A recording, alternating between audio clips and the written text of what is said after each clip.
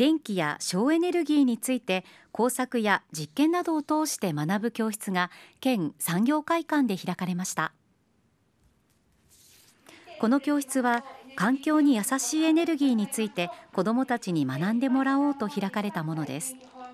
はじめに関西電力送配電奈良支社の職員が電気の作り方や家庭にどのように電気を届けているかなどクイズを交え話し子どもたちが手動の発電機で発電に挑戦しました。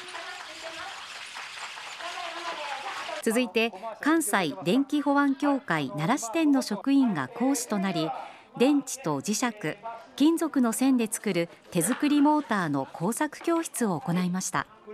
そして自分たちで作ったモーターが回り出すと笑顔を浮かべたり不思議そうに眺めたり反応は様々ですこの催し次回は8月24日に水素エネルギーをテーマに実施され科学実験や水素で走る燃料電池自動車の展示などが行われます。